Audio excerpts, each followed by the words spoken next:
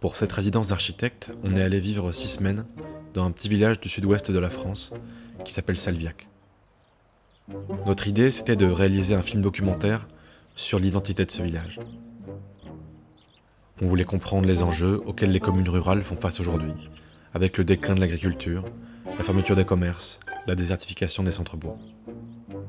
On a voulu que ce film soit un portrait kaléidoscopique de Salviac, par ceux qui le connaissent le mieux, ses habitants.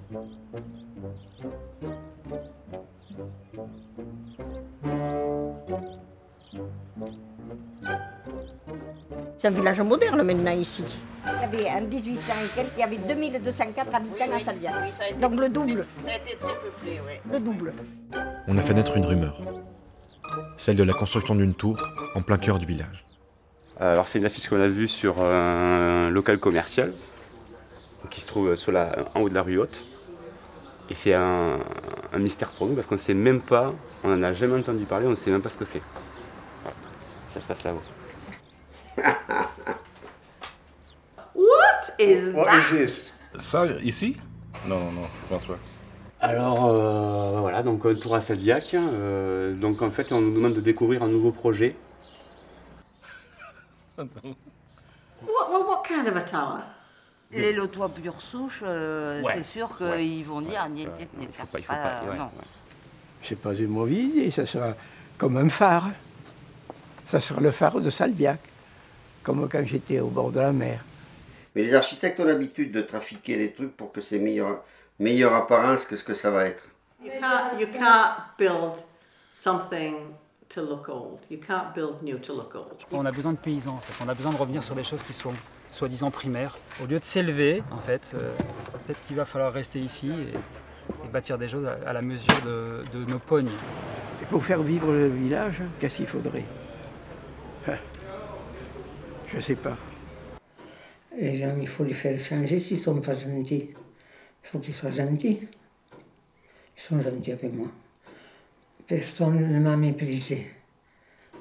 Je, suis, je, suis, je suis chez moi ici. Je suis chez moi. Les Français ce soir.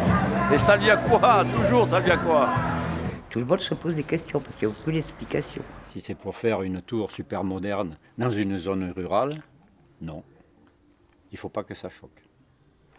But it has to be of glass to you can through, see through it, not of stone. Cinq fois la hauteur d'église, ah non.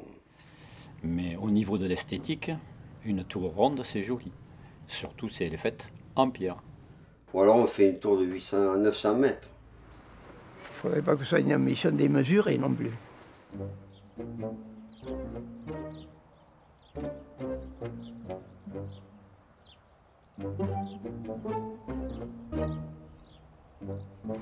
Je sais pas, vous savez, il faudrait faire une maquette avec. Et il m'a montré, il m'a dit, voilà, ton pays, c'est ça. Et sans me rendre compte, dans, dans ma tête, ça m'a suivi toute ma vie, que j'ai un pays, mais qui est rond, quoi. Il n'a pas de frontières, il n'y a rien de tout, ce qui a étonné tout le monde. C'est un film qui raconte comment les habitants vivent dans ce village et comment ils imaginent leur futur.